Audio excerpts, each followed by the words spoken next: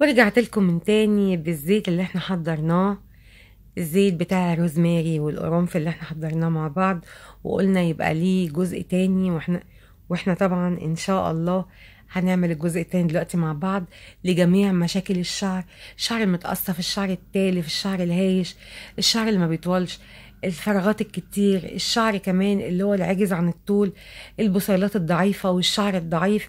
كل مشاكل شعرك دي كلها إن شاء الله مش هتلاقيها وهتنتهي خالص مع الزيت اللي إحنا بنحضره النهارده التكملة بتاعته. وإن شاء الله تعمليه أحلى ما أنا عملته. وبرحب بكل الغاليين في كل مكان. طبعا ده الزيت يا بنات بعد عشر أيام. كنت قافلاه في الكيس كده زي ما انت شايفة وشايلاه في الضرفة وقافلة عليه وعدى عليه عشر أيام. زي ما أنت شايفة كده ما فتحتوش ولا مرة. بصي بقى الزيت أخضر جدا جدا جدا. إزاي؟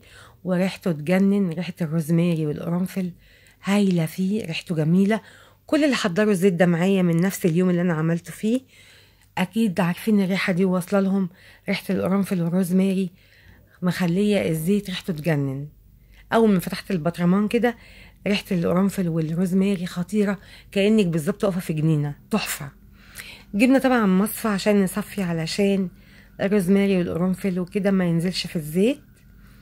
هقلبه كده شوية زي ما أنت شايفة كده المكونات كلها في القاع بتاع البطرمان عندي بقى الجديد النهارده زبدة الشيا الجميلة الأفريقي. زبدة الشيا دي ما بستغناش عنها لشعري وبشرتي تجنن. هعمل لها حمام مائي كده بسيط علشان تفك شوية علشان أعرف أستعملها. قبل ما الزيت يتصفى كويس آدي بفك طبعا زبدة الشيا في حمام مائي كده. وزي ما انت شايفة كده كل الشوائب كلها في القاع بتاع البطرمان. وأنا كده خلاص أخدت الزيت كله اللي أنا عايزاه. الزيت التحفة. الزيت خطير يا بنات ريحته تجنن بجد. بعد ما صفيناه كده زي ما انت شايفة تصفية حلوة. وزبدة الشاي طبعا بتسيح أو بتفك من بعض. بصي الزيت عامل إزاي؟ يجنن بجد يجنن يعني. خطير.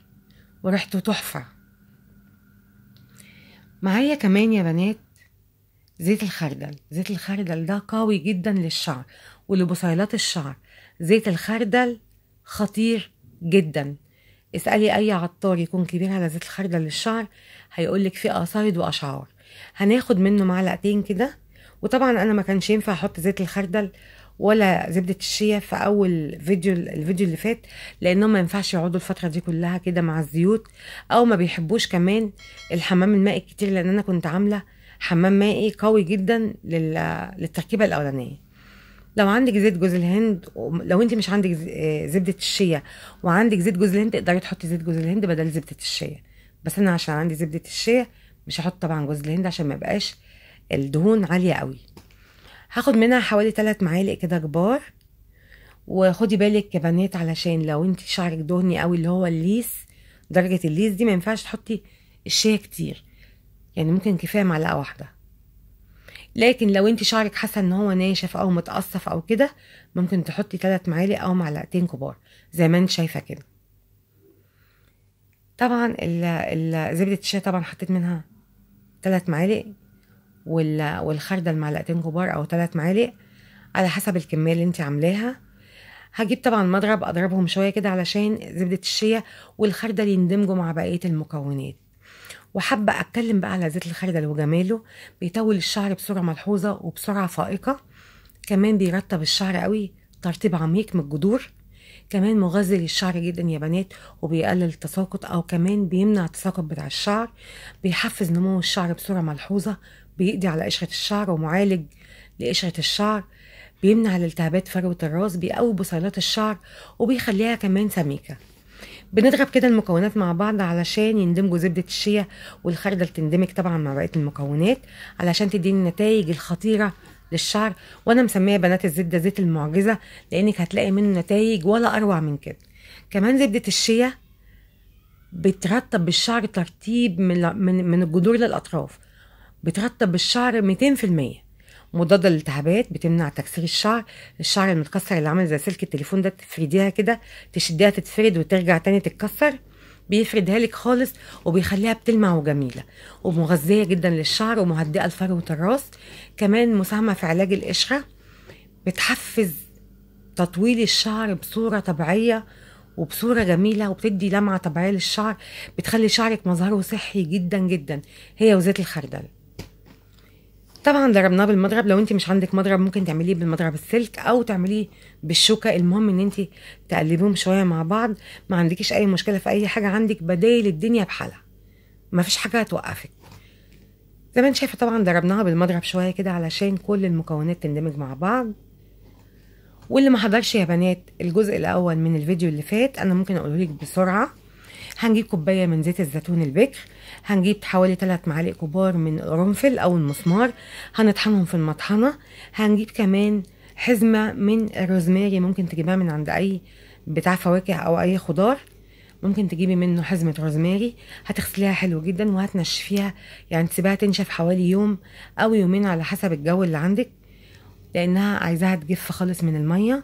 بعد كده تاخدي منها الأوراق وتسيبي العيدان بتاعتها وناخد بعد كده طبعا الاوراق هنطحنها في المطحنة زي ما عملنا في القرنفل بالظبط. ونحط من الروزماري حوالي أربع لخمس معالق كبار بعد ما طحناه وبعد كده كمان هنحط القرنفل معلقتين كبار أو ثلاثة زي ما انت عاوزة في زيت الزيتون ونقفل عليهم بكيس بلاستيك أسود أو نحطهم في أي قماشة أو أي حاجة غامقة المهم ما يشوفوش النور أو الضوء ونشيلهم في أي مكان بعيد خالص عن الضوء. عشر أيام تطلعيه تبدأي تعملي بقية الوصفة زي ما إحنا عملناها النهارده وإن شاء الله هتلاقي منه نتائج روعة وخيالية. عملنا طبعا حمام مائي دلوقتي بعد ما عملنا المكونات وضربناها بالمضرب. حطناه في حمام مائي حوالي خمس دقايق بس وبعد كده هنستعمله عادي جدا مفيش أي مشكلة. هتستعمليه من مرتين لثلاثة في الأسبوع يعني لو شعرك مقصف قوي في فراغات كتير من قدام ما بيطولش مش تقيل خفيف وبقى مضايقك منظره تقدري تستعمليها ثلاث مرات في الأسبوع. لو شعرك عادي يعني عايزة بس تقليه شوية أو تطوليه شوية هتستعمليها مرتين أو مرة في الأسبوع. انت هتحددي تستعمليها قد إيه على حسب شعرك الحالة بتاعته عاملة إزاي. زي ما انت شايفة كده الزيت جميل جدا زيت غني جدا بكل العناصر اللي محتاجها شعرك. زيت يعني لو اشتريناه من بره اللي هي الزيوت بتاعت الشعر التطويل مش أقل من 500 600 جنيه. وأكتر كمان ده أنا بقول لك في ال range الوسط يعني. في ناس بتجيب بأغلى من كده كمان. إن شاء الله بإذن الله تعملي أحلى ما أنا عملته ويعجبك. وهسيب لكم الفيديو الأولاني في صندوق الوصف لو عايزين تشوفوه يساعدني جدا. ولو أنت وصلتي معايا لحد هنا ما تنسيش فضلا وليس امرا تعملي like للفيديو علشان غيرك يستفيد وينتشر. وكمان لو انت جديدة أهلا وسهلا بيكي. نورتيني. يا حبيبتي اعملي سبسكرايب واشتراك. أشوفكم على خير.